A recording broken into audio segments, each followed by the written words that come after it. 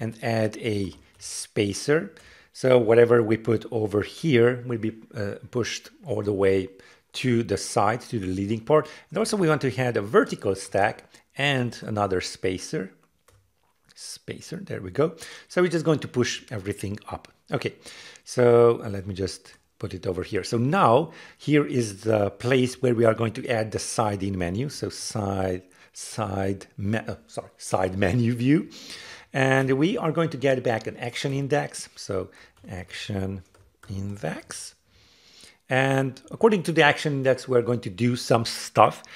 Basically, if the action, so if action index, come on, action index equals free, so it's the logout, then we are going to currently just print it out.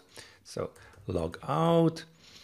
Otherwise, we want to switch the selected action index. So uh, selected action index equals the action index, just like that. Okay, and um, uh, also we want to slide the menu back.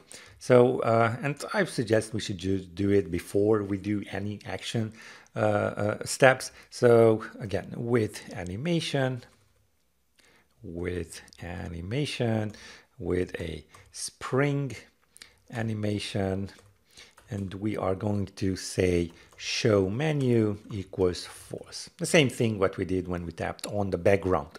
Okay, let's see it uh, right now. Let's see how uh, this looks like because you know, we are really, really close. We still need a little bit of, uh, you know, here is our menu currently. We have this divider and it's not doing anything because it's actually not sliding anything in, but you know, it's on top. We, we can already uh, see that this is put on the Z stack as the uh, frontmost element.